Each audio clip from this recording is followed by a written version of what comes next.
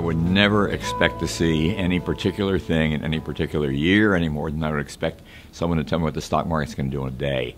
That's far too short a time horizon. And if you're going to invest in the stock market, you should be there for at the very absolute minimum five to ten years. And basically, you should commit, you should commit yourself to doing it for a lifetime.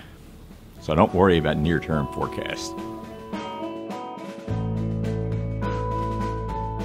I never make sector bets. Uh, there's no point to it. You know, one one day we know that you know some of the growth industries will be uh, technology, healthcare, for example, energy. Uh, they will all grow.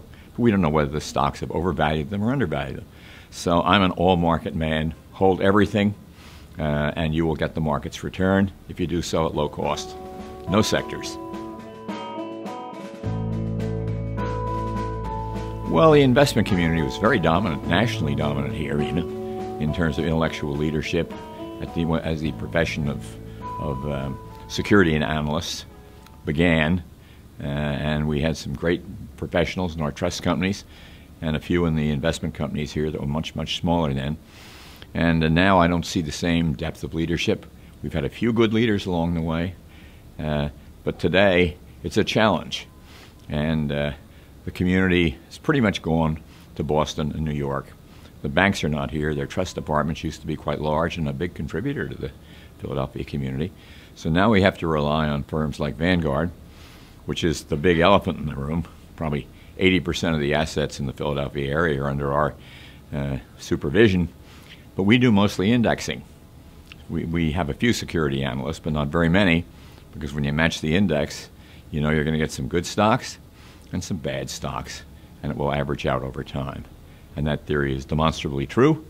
What's going to happen is, is the financial industry is going to shrink, and that will be much more of a difficult thing for Boston, for New York, uh, probably for San Francisco, uh, Chicago, and places like that. Uh, but we will make up for that growth here by our strategy, which is so, so unique in the fund industry. Well, the most recent book I actually wrote is called Clash of the Cultures.